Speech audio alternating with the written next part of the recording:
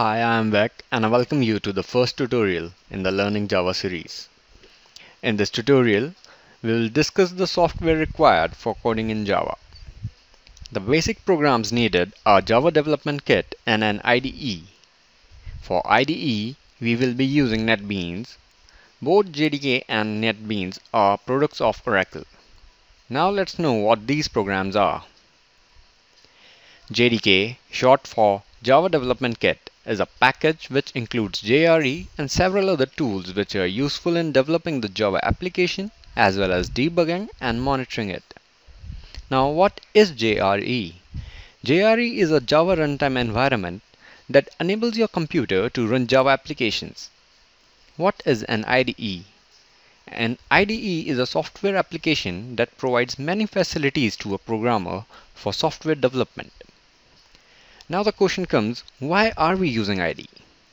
Because coding in a plain text editor is a tedious process and catching errors in the program is too much time consuming. Now let's start with the first step that is downloading the software. To download, open your browser, go to Google and type JDK. You have to click on the first link that is Java SE Downloads by Oracle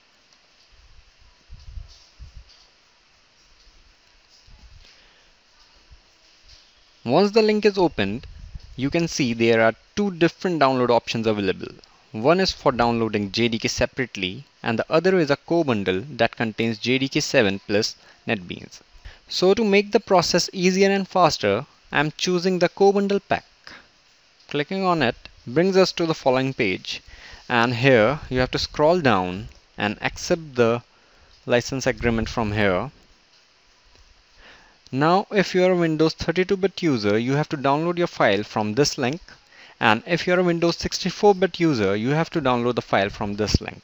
Also if you're using any other operating system like Mac then check and download the file accordingly from the given options. If you're not quite sure about your system's configuration go to start click on computer then click on properties and your configuration window will open here you can see mine is a 64-bit operating system. I'll be clicking on this link and save the file. Now the download is completed you have to locate the file and open it. Here is the downloaded file you have to double click it and open it. The installer will be configured. It may take few seconds to configure the installer. Once configured click on next this is the JUnit license agreement page. JUnit is used as a unit testing framework which is used for testing. Accept the license agreement to install JUnit and click on next. Installer here will ask for the directory to install JDK in. You may choose some different directory but I am going with the default one.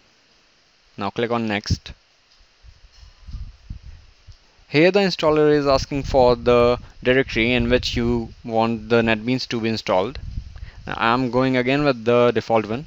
Clicking on next will bring you to the summary page. If you don't want the installer to check for updates, uncheck the box, otherwise keep it checked. Click on install to install the software. The installation will take a few minutes to finish. The installation is complete now. You have to click on finish. So this brings us to the end of this tutorial. See you next time.